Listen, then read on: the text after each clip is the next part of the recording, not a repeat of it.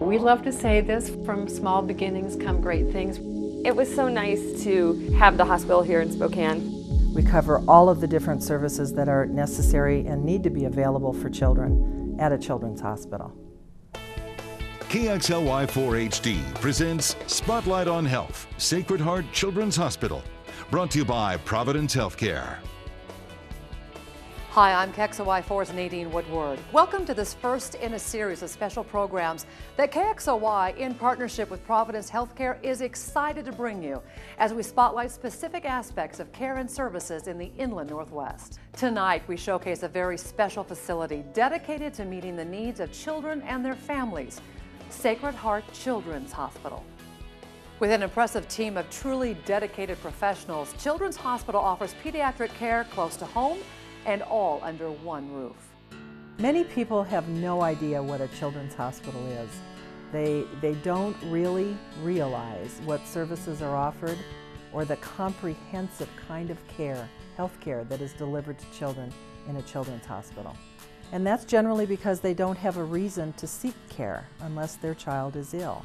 And Peggy Mandrasina, Executive Director of Children's Hospital, will be the first to tell you kids need a facility that understands them, and parents need a place of refuge. I think the people of eastern Washington, as well as Idaho and Montana, which is our service area, really have a very unique jewel here in Spokane because we do have a huge breadth of pediatric subspecialists, which is what we do here that take care of the kids that really have the highest needs and most complex needs. We have probably over 100 different physicians that are trained in the care of children from infancy through adolescence. And of that over 100 physicians, we probably have over 28 specialties that provide care to children. And they range from cardiac to endocrine to nephrology, oncology, psychiatry, it's not only the number of physicians and subspecialists that's impressive, it's the approach to care that sets Children's Hospital apart. The concept of taking care of a family as a unit when you're providing health care is a fairly unique concept. It's a unique approach. But if you think about it for a minute, it's really the only one that makes sense. We call it family centered care. So every aspect of every piece of care that we deliver is really engaging and involving the family. Healthcare today, both in adult and pediatrics, is about team, team playing, and that means uh, the whole team of people that includes the parent and the child, but also the physician, the support staff, the nurses. And it's the team effort that gets the job done. Part of that team approach and a unique feature at Children's Hospital is the Child Life Specialist. It's very, very, very soft. It doesn't even hurt. No, it doesn't hurt. Child Life Specialist is a professional who's focused on the emotional and psychosocial needs of kids in the hospital. And so we're really trying to help kids feel more comfortable while they're here, feel not as fearful, and understand what's going on in terms that they can um, comprehend. Perfect. Alleviating the stress of young patients is an important goal at Children's Hospital, which is evident the moment you walk through the door. The environment of a children's hospital is a very unique feature. So in Sacred Heart Children's Hospital, you will see bright colored paints, you will see odd shaped windows, you will see footprints going down the hallway, you will see sky bridges filled with uh, fish and with butterflies. For families, we have attempted to meet all their needs while they're here. So from having space in their child's room to sleep with their child, to partnering with Ronald McDonald to have a family room here in the Children's Hospital that has access to a washer and a dryer, some of the other amenities that are necessary when you're away from home but you don't often think of. We've made all of those accommodations right here at the Children's Hospital. We recognize that we have one chance to minimize fear, to maximize hopes, and to make it a fun environment for a child so that they won't be frightened about what has to occur there. Because kids deserve only the best care available, the mission of Sacred Heart Children's Hospital is clear. Whether it's a physician, a respiratory therapist, a nurse, a child life therapist, all of these professionals come with the one desire to take care of children. Okay, can you touch your nose with your tongue? Oh, you can't! She's practicing. The amazing thing is, again, it's all local. We have local care, local expertise, and, and we've drawn that from all over the United States to be here in one place. Spokane has a unique feature in Sacred Heart Children's Hospital, here, ready and waiting to help in any way we can if they need us. Another unique service that Children's Hospital offers is the area's only pediatric ER, open 24 hours a day, seven days a week. Recently, emergency medicine in itself is a relatively new subspecialty for medicine. And pediatric emergency medicine is even newer as a subspecialty than that and growing very fast. Kids are so different. They're not little adults, and it's nice to be able to come into an area where it's kid-friendly as much as you can make a hospital. Um, you have pediatric trained uh, physicians and you have pediatric trained nurses. The kiddos stay back here. They come in, they're registered at the front desk in the main ER, and then they're brought back directly here to our own waiting room and to our triage area. So here in our pediatric emergency department, we have the equipment uh, on hand and immediately necessary to deal with pediatric issues, which uh, in a general emergency department, you may be getting more generalized adult equipment that is being fitted for children. We see ages zero, I mean newborns who have just went home up to the age of 15. The preparedness that we have in terms of working with children all the time and understanding that they're not just little adults, that they are different and the medications used to treat them uh, is different and the dosing is different. The PCR is the front door of the Children's Hospital and we have all the subspecialists that we can imagine. This is where they first come in and then we have all that support system to help these kiddos. Obviously very special people doing very special work. Up next. When a child is diagnosed with cancer, it affects the entire family. We'll meet more amazing people and some of the lives they touch. You may wake up one day feeling lower than low, like your temperature's down to a hundred below. You'll need the best doctors and nurses if you're to get strong and a place to get better so you can move on. Better, yes, better is all you should be, and this place is one great big get better machine. Sacred Heart Children's Hospital. World class healthcare just for kids. This is a place devoted to one purpose caring for children, where exceptional pediatric physicians and nurses dedicate their lives to delivering breakthrough treatments for things like cancer and complex heart problems. And where kids can just be kids and families can be families at a time when they need each other most. Sacred Heart Children's Hospital, right here in Spokane. A cancer diagnosis can be one of a parent's worst fears, not just for the parent, but for their child as well. That's why the mission of Children's Hospital is to offer a comfortable, optimistic, and loving environment, as we see in this tour of the oncology unit. When a child is diagnosed with cancer, it affects the entire family, so we try to make our environment as family friendly as possible. So we've created some space within the, uh, our floor that allow for uh, parents to be here for long periods of time and siblings as well.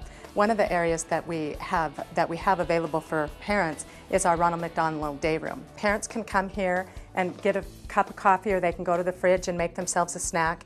And parents like to spend some time together, parent to parent, mm -hmm. um, and so it gives them kind of a support group and they can spend um, some time away from their children and just talk to one another and share about their experiences. So, and parents, because we spend, they spend so much time here, they get pretty close to each other. So um, they become, uh, we all become family. We have this outdoor terrace.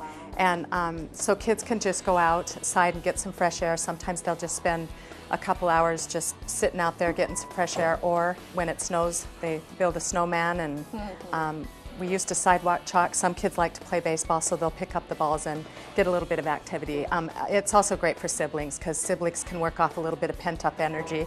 Um, Can you tell us about the flagpoles? Yes, um, the flagpoles were a donation from the Ripon Foundation. They're uh, um, meant to um, signify when a patient is here, they make their own special individual flag, and then we raise that flag when the patient is inpatient so that um, people from all over the city really, when they're coming in, can see that particular flag. This is our playroom. Uh, this room really comes alive in the afternoon. During the first part of the day, the kids are usually in their rooms, the doctors are making rounds and they're making decisions about what's going to happen with their care. But in the afternoon, this, uh, this room definitely lights up, and it's also a really good place for um, siblings to gather and to have mindful activities that they can do together. From their mental perspective, it's good for them to get out of their room. We also have uh, patients and family members that like to gather out here and uh, play with the Wii. It's kind of fun to watch them um, compete with each other and get together. A lot of our patients make friends, and so they'll often come out here and play with the Wii together as well. So our patient rooms, we also try to make family friendly as well. Every room is has a couch, a day bed for one of the family members to stay. All the rooms are sectioned off in three sections. The back end is for a family member to stay, and there's plenty of room uh, for the family member to put their clothes and to sleep at night. The bathrooms are very large so that both whomever is staying in the room can shower easily. Every room is equipped with a refrigerator. Every room, of course, has a TV and a DVD, um, you know, an ability to play more video games. It's, it's something easy that the patients can do while, while they're resting and it keeps them engaged in another activity. Another thing I'd like to show you is the teen lounge. Teenagers have very different needs than the smaller kids. So what do you have in the teen lounge? Well, we've got a, a large screen TV and just very comfortable couches, some music, there's a couple of guitars and a piano, and puzzles and games. The main thing with teenagers is they just want to gather and be together and just hang and uh, so this, that's what we had in mind when we designed this room was just so teenagers could come and hang out together. So this is your outpatient area? Right. We, we do have an outpatient clinic and it's associated with our inpatient unit. We do try to keep the kids out of the hospital as much as possible, but we still do have to see them on a regular basis. So a lot of times if they don't have to have an inpatient stay, we'll bring them through the outpatient clinic and follow their treatment that way. So the outpatient clinic has four uh, infusion rooms and we also have a playroom here. Most of the kids just get their treatment right there in the playroom. And again, we, we make it as family friendly as possible, and siblings are welcome to come. Uh, kids do better when they have their when they're surrounded by their families, so we definitely encourage that and let them play as much as possible. Kim, you must be very proud of the oncology unit. I'm very proud of it, and part of the treatment is the team, the team that comes together to treat these kids and their families, but also being able to offer them such nice surroundings and such a nice environment makes a huge impact on their outcomes. Not all superheroes wear capes, but like 11-year-old Nikayla, who was diagnosed with sickle cell anemia as an infant, they approach life with the same bravery and gusto as a superhero. Sickle cell is when your blood is not shaped like usual, like other people's. Mine is shaped like a half moon. A little girl with a big personality, 11 year old Nikayla Taylor is a regular at Sacred Heart Children's Hospital. She visits every couple of weeks for treatments to help her body combat the effects of sickle cell anemia and prevent painful episodes common to the disease. One port hurts when the needle gets in, feels like something weird, and the other one doesn't. For the medical staff, comforting their young patient is just as important as treating their disease. Her name is Donna, and she does my exchange every three weeks. And I like having her. They make sure you're okay. They comfort you if you're hurt or something. Did you tell them about us wearing our crowns?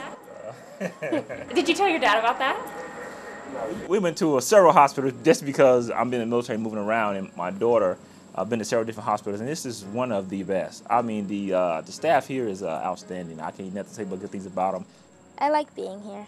I think it's fun, and I like to make the people here laugh. the survival rate for children with cancer is 80%. That's an encouraging statistic for any parent whose child has been diagnosed with the disease. And it's because of medical professionals like Dr. Judy Felgenhauer who are dedicated to improving the outcome for children with cancer that make that survival rate possible. It's been a lifelong dream of Dr. Judy Felgenhauer to work with children, and you could say she's taken on one of the most difficult of assignments when it comes to helping young patients, children with cancer. There are days where it's very difficult, and when that happens, sometimes it's just as easy as looking at the family and saying, I'm not going through anything compared to what this family is going through. They're the ones who are really doing the hard job. Dr. Felgenhauer came to Sacred Heart seven years ago to develop the hematology and oncology clinic at Children's Hospital from the ground up. We are now at the point where we're starting to focus on our subspecialty clinics and populations. That would be our brain tumor patients. They certainly have a lot more long-term follow-up issues and have more needs. And we run a specialty clinic where we have neurosurgery and neurology and endocrinology and all those other specialties that many of those patients need. Dr. Felgenhauer says the mission was to build a unit not just focused on the young patient, but the entire family. We're not only interested in how the child's doing when they come in for a visit, but how are mom and dad doing? How's their marriage? Our social worker will check in, make sure they're taking some time for themselves. Okay, open up. Say, ah. There is a very talented, dedicated group of pediatricians and pediatric subspecialists that are here in town. Most of us have chosen not to be at a university. We want to still be providing direct care to patients, um, but at the same time have the opportunity to do some teaching to other doctors and nurses as they're coming along. And this is kind of the perfect place to do it. From small beginnings come great things. We think that's the case, and we want to encourage our families to remember that too. Coming up next, we tour Children's Hospital's neonatal intensive care unit ushering in a new era of family centered care for the tiniest of patients. Here, this is the place. One that uniquely exists to serve a clearly defined and purely devoted purpose caring for children. And while kids, understandably, may prefer to never step through these doors, others have dedicated their entire lives to what happens here namely some of the most exceptional pediatric physicians and nurses anywhere, and specialists capable of delivering breakthrough treatments for things like cancer and complex heart problems. And amidst the protocols and the procedures, you'll find something absolutely remarkable. A place where kids can just be kids, and families can be families, at a time when they need each other most. Sacred Heart Children's Hospital. World class healthcare. Right here in Spokane. Here at Sacred Heart Children's Hospital, we've seen a tremendous level of care administered to children and their families, and it's offered to the tiniest of patients with the most serious medical conditions. That's when the neonatal intensive care unit takes over. You have a lot to show us today. I do. I'm excited to show it to you. Um, I'm going to start you off today on our graduate wall. There's 150 leaves on this wall that five years ago when we it opened, we just didn't think we'd ever fill it up. But these are graduates that have spent time with us in the NICU. They often get a photograph when they go home and their moms and dads love to come out and pick a leaf and put them on. Really, this is a wall of success it is. stories. Yes, that's well put. 30% of my admissions are transport, so they come from all over the region, um, oftentimes at night and they fly in. Mom or dad has come with baby. They have nowhere to stay. And we have a room that's got a sofa bed, a full bath shower, phone. We just put them to bed and say, just stay here and we'll work on housing tomorrow. In the old unit, there was nowhere for our families or visitors to go when they weren't in the unit with baby. So they built this huge um, family waiting area that's got, again, a telephone, um, coffee, a place to put a frozen dinner, microwave, um, it's theirs to use, bathroom, um, and we really had a lot of people in here with, you know, high census, but it was a huge add-on. So, so, Jean, we're at the entrance now. We are. We are. Every family member that comes in, this is a locked unit, so they have a chance to buzz in, say, I'm here to visit baby. They sign in and go see their baby. This is called the Center Pod. We had to give them kind of fun names, so we call it Grand Central because we had to call it something. But this is a typical two-bed room. You're welcome to come in. Um, and right now it's set up for twins because um, uh, we're expecting a set sometime. And it, the room is split in half. So you've got this, this is a set-up bed for one baby. The bat one is identically set up. Um, and nurses can go back and forth. A premature baby, all their care is based on their gram weight per day. Every time we have a wet diaper, we have to weigh it. Because you oh weigh it first to remember what your gram is, and you weigh the other one, and there you go. It's just its own world of they can't make a move if we don't know about it. This is Kai. Oh. Okay. And why is he an ICU baby? He had respiratory distress, so he was put on a ventilator, and then he went to CPAP, which is continuous positive airway pressure. Mm. And he'll be able to go home when, do you think? Shouldn't be too long. Um, there's some things that babies need to do before they get to leave. They have to be able to hold their own temperature, which means that the bed's not going to help them in any way. Mm-hmm. He's doing that perfectly. Um, he needs to be able to take all his food by his mouth, and he also has to be growing. He's so he's so well on the way. He's got several steps accomplished. He's just got a couple more steps to accomplish to get to go home. Just precious. The NICU was just one piece of the journey of a family or a baby um, pregnancy at risk. We have a NICU follow-up clinic that we see kids up to two years of age to make sure they're right on track for development. We get them also connected to services before they leave here and also to the follow-up clinic. But we're just part of that big process of, I think, some really great care. Well, obviously, you're very proud of this facility. I am. Another major area of care here at Children's Hospital is the cardiac unit. Their ability to deliver expert, personalized care to infants, children, and adolescents is simply unsurpassed. When I moved here, my specialty was in fetal echocardiography, so we decided to really develop the fetal echocardiography program here. Pediatric cardiologist Pam Berg is part of an amazing group of physicians dedicated to helping children with heart defects at the earliest stages of life. At 18 weeks is about the earliest we can get a very good look at the fetal heart. You have to remember that whatever uh, heart malformation is occurring in the baby, it's already set by the eighth week. So here we can see um, baby's face. Here's the eye, the nose, lips, chin. Um, baby's chest right here, you can kind of see the heart beating here. We can see the vein bringing in blue blood into what when the baby's born would be blue blood coming into the heart chamber. This is the aorta, which sends blood flow out from the heart to the body. Children's Hospital fosters an atmosphere of teamwork where specialists and surgeons combine efforts to create the best patient care. It's a bicuspid valve. I'm pretty sure it's probably going to need replacement at some date.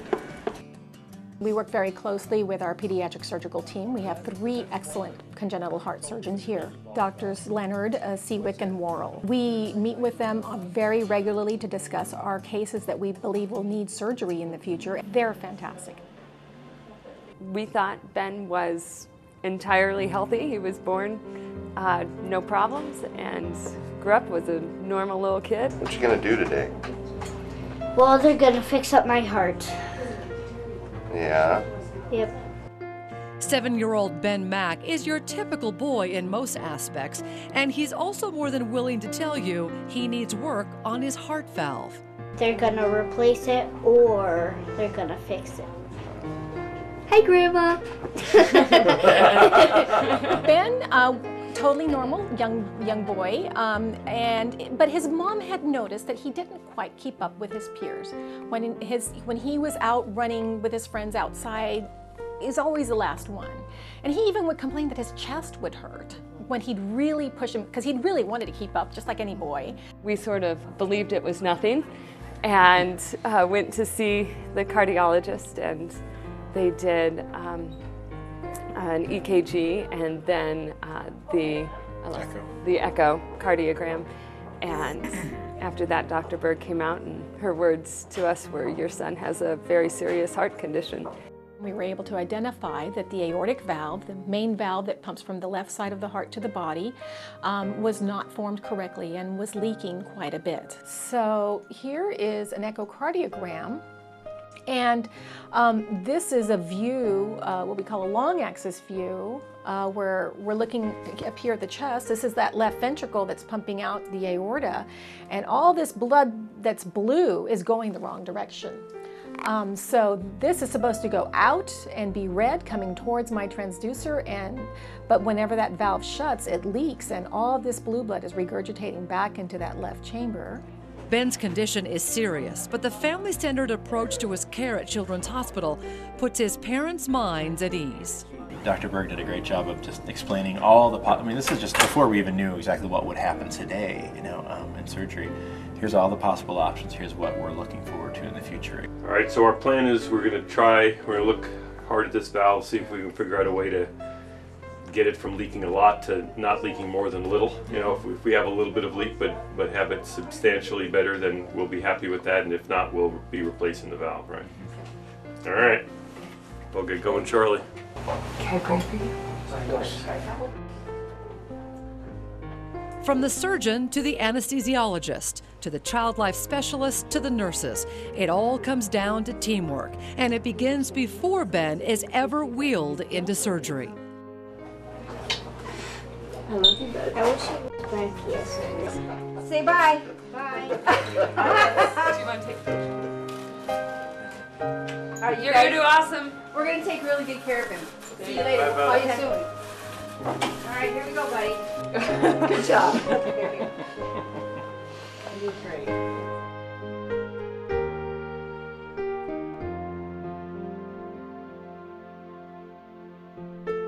The day of surgery, we're as prepared as we can be.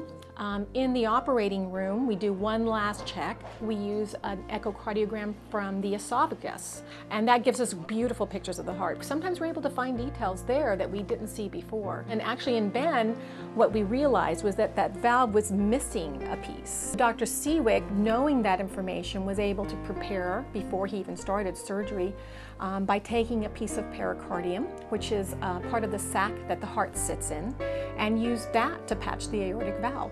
For the Macks, hearing the best possible news on Ben's surgery is a huge relief. So I don't know if you got any word, but uh, the, the surgery went just fine. Um, Really, the valve actually, frankly, looked a lot worse than I thought it was going to. Okay. And I was a, a little concerned about whether we are going to be able to figure out something to do to, to fix it. It was really just a, a gap. Uh, a bunch of the leaflet was missing. As Uh-huh. opposed to having too much leaflet and having it be too floppy, there was just this kind of hole in the leaflet with very thickened, like a horseshoe of scar tissue. So we ended up cutting away some of that and replacing it with a little patch of pericardium, a little bit of the sac that Yeah. around his heart. And uh, it actually looked quite good. And on the echo, it looks great. I was real happy that uh, that we got it looking as good as it did, and he's tolerated the surgery just fine. Good. They're just getting ready to bring him upstairs Good. shortly. Good. Okay. Thank, you, All right. so much. So you'll see him. We're so thrilled. He'd had an excellent result. For Ben and so many children like him, his surgery was a huge success. Amazingly, just three days later, Ben is recovering and will go home the next day. What would you tell kids now after having your surgery? Well, it's been fun. If you eat a lot and walk a lot, you get to go home faster. How's his prognosis? Will he need surgery? as You know, he may, because as you can imagine, that patch is not going to grow with Right, him. right. So we're just going to have to keep following him, and we're going to take very, very good care of that valve. Any limitations? You know, if his valve functions well, there really aren't any Keep up with the limitations. He can keep up with the other boys. Well, Ben's case is just one of thousands of extraordinary stories that play out every day at Sacred Heart Children's Hospital. Your family may never need to take advantage of the superior programs and services offered here, but if you do, uh, you can rest assured that your child or loved one will be getting the best quality care this region has to offer. I'm Nadine Woodward. Thanks for joining us.